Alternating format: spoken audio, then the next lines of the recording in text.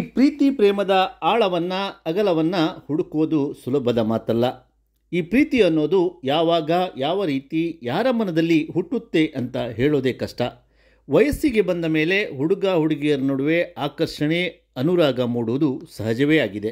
ಪ್ರೀತಿಸಿದವರು ಕೈಕೊಟ್ಟರು ಅಂತ ಸುಸೈಡ್ ಮಾಡಿಕೊಂಡವರು ಇದ್ದಾರೆ. ಏಕಮುಖ ಪ್ರೀತಿಗಾಗಿ ಪ್ರೇಯಸಿಗೆ ಎಸಿಡ್ ಎರಚಿದವರಿದ್ದಾರೆ.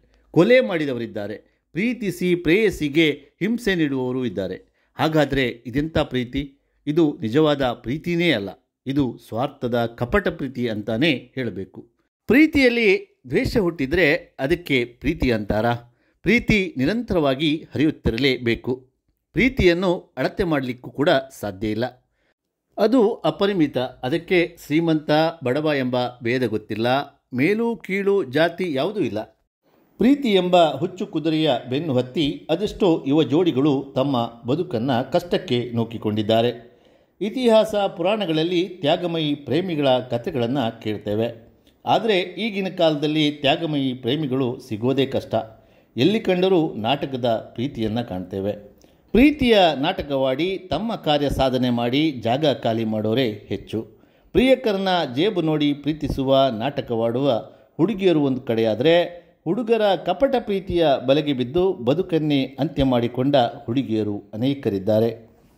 ಈ ಪ್ರೇಮಿಗಳು ಪ್ರೀತಿ, ಪ್ರೇಮ ಎಂಬ ಆಕರ್ಷಣೆಯಲ್ಲಿ ಬಿದ್ದು ಲೋಕವನ್ನೇ ಮರೆತು ಬಿಡ್ತಾರೆ.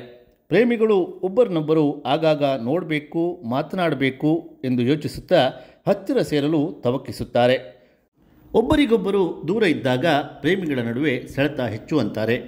ಅದು ನಿಜ ಇರಬಹುದೇನೋ. ಹತ್ತಿರವೇ ಇದ್ದರೆ ಪ್ರೀತಿ ಕಡಿಮೆಯಾಗುತ್ತೆ ಅಂತಾರೆ.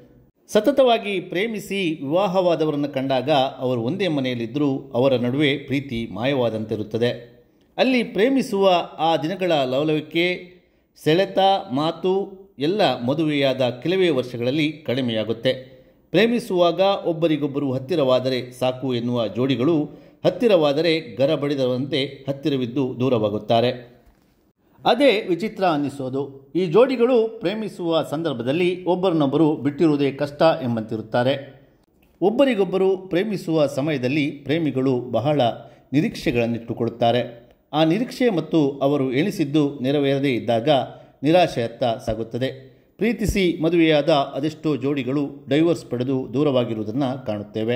ಅತಿಯಾದ ಪ್ರೀತಿ ಒಳ್ಳೆಯದಲ್ಲ ಎನ್ನುತ್ತಾರೆ. ಜೋಡಿಗಳ ನಡುವೆ ಒಬ್ಬರನ್ನೊಬ್ಬರು ಬಿಟ್ಟಿರಲಾರದಂತಹ ಆ ಪ್ರೇಮದ ದಿನಗಳಲ್ಲಿದ್ದ ಸಾಮೀಪ್ಯ ಸೆಳೆತ ಒಂದೇ ಮನೆಯಲ್ಲೇ ಒಟ್ಟಿಗೆ ವಾಸಿಸುವಾಗ ಕೊರತೆಯಾದಂತೆ ಭಾಸವಾಗುತ್ತೆ. ಪ್ರೀತಿ ಇದ್ದರೂ ಅವರಲ್ಲಿ ಆರಂಭದಲ್ಲಿದ್ದ ಆ ಸೆಳೆತ ಕಡಿಮೆಯಾದಂತೆ ಅನಿಸುವುದನ್ನು ನಾವು ಕಾಣ್ತೇವೆ.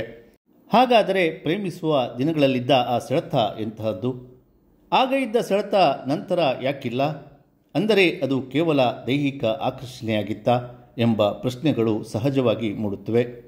ಪ್ರೀತಿ ಯಾವತ್ತೂ ನಿಷ್ಕಲ್ಮಶವಾಗಿರಬೇಕು ಅಂತಾರೆ. ಆದರೆ ನಮ್ಮ ಪ್ರೀತಿ ಅದೆಷ್ಟು ನಿಷ್ಕಲ್ಮಶ ಎಂಬುದನ್ನು ಯಾವುದಾದರೂ ಪ್ರೇಮಿಗಳು ಒಮ್ಮೆಯಾದರೂ ಪರೀಕ್ಷಿಸಿಕೊಂಡಿದ್ದಾರಾ?